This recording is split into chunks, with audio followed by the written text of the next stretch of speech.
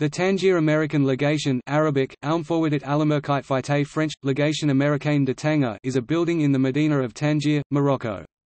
The first American public property outside the United States, it commemorates the historic cultural and diplomatic relations between the United States and the Kingdom of Morocco. It is now officially called the Tangier American Legation Institute for Moroccan Studies, and is a cultural center, museum, and a research library, concentrating on Arabic language studies. The legation was listed on the U.S. National Register of Historic Places on January 8, 1981.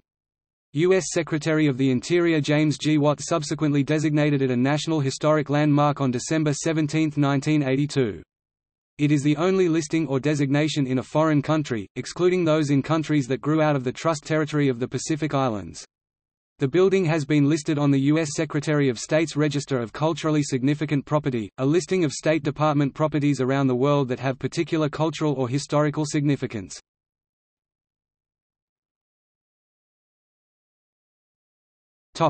Diplomatic history The legation is an elaborate Moorish-style building of stuccoed masonry. This complex structure contains the two-story mud and stone building presented to the United States in 1821 by Sultan Moulay Suleiman.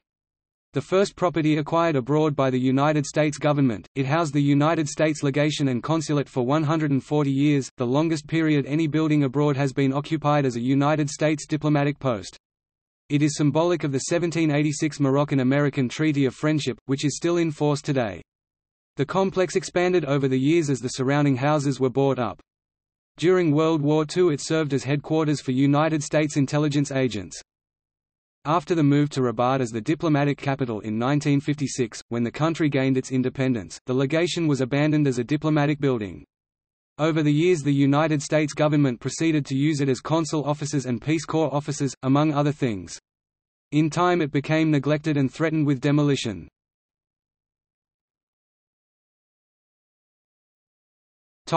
Present In 1976 a group of American citizens established a public, non-profit organization to save the old American legation as it is known locally. Today the Tangier American Legation Museum Society rents the structure, which is still owned by the United States government. The Tangier American Legation Institute for Moroccan Studies is a museum and cultural center for the study of Morocco and Morocco-United States relations, and it has many paintings by Marguerite McBey and other artists. TALIM's historic building now includes an entire wing devoted to the expatriate writer and composer Paul Bowles. In 2010, they received a donation of furniture, photographs and documents compiled by Gloria Kirby, a permanent resident of Tanger and friend of Bowles.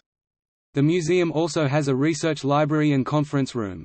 TALIM's community outreach programs include Arabic literacy courses for women living in the Tangier Medina. John Davison is the current museum director.